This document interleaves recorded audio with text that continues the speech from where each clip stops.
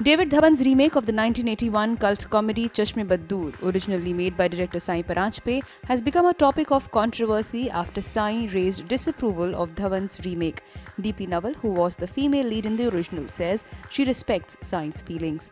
Personally, I would like to respect the director's feeling. के अगर उनकी फिल्म को कोई छूने जा रहा है तो कौन उसका क्या वर्जन बनेगा तो वो शायद एक डायरेक्टर का ही कंसर्न हो सकता है but uh, the fact that uh, uh, David has wanted to make this film. It's a huge compliment to the maker and the director of the film कि कोई आपकी फिल्म को फिर से बनाना चाह रहा है अपनी तरह अपने तरीके से इंटरप्रेट करना चाहे तो वो फ्रीडम तो रहेगी ना किसी की भी Deepti was present at the launch of the promo of the digitally restored version of the original film Friday. Farooque Sheikh and Rakesh Bedi, who were part of the original film, were also present. Commenting on the remake, Farooque said people are often tempted to revisit something that is popular.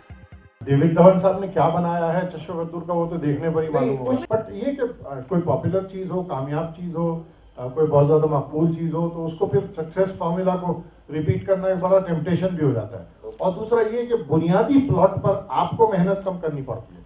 आप नए सिरे से उसको बनाते नहीं आप उसी पर जो है कुछ नोक पलक सुधार के उसको फिर से पेश कर देते हैं।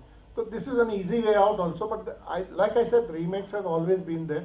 The old version will hit the screens April 5 along with its remake which has been directed by David Dhawan and stars Ali Zafar, Siddharth Taapsee Pannu and Divyendu Sharma.